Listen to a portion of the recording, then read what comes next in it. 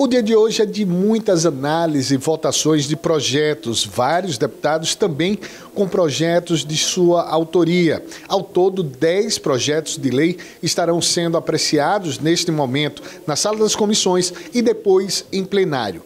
Dois chamam a atenção de autoria dos deputados. Um, do deputado Marcelo Sobral, 416, que institui no âmbito do Estado de Sergipe a campanha Junho Lilás, de conscientização sobre a importância do teste do pezinho no âmbito do Estado de Sergipe.